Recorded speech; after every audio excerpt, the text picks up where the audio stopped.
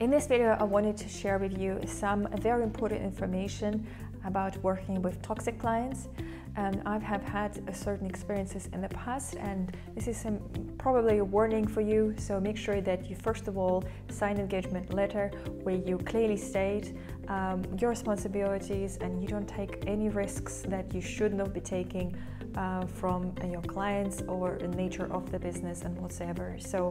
um, I will talk about the documents and insurance in my next video. But for this, first of all, make sure that when you have a first communication with your client, you clearly understand the nature of the entity, what they do, um, how they keep documents, how organized the documents are.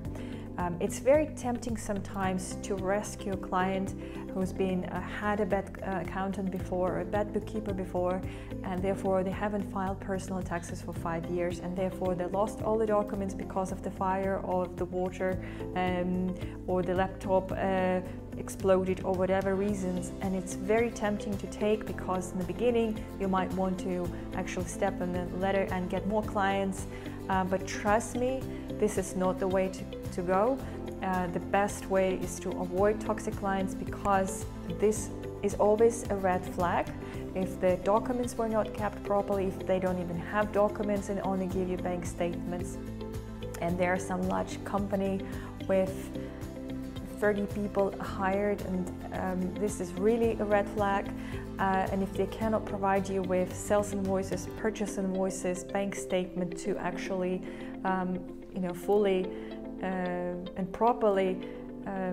enter this information on accounting system and they don't even have accounting system for a couple of years or so and they haven't filed any corporation taxes or any reports i will uh, will reply politely that it was very nice to meet them and move on and meet a client who actually will be able to um, to give you uh, all the documents and all information and you'll be much much better off uh, with this choice Thank you for watching and I hope this was useful. Take care of yourself and um, watch my other videos about insurance and engagement letter. Thank you.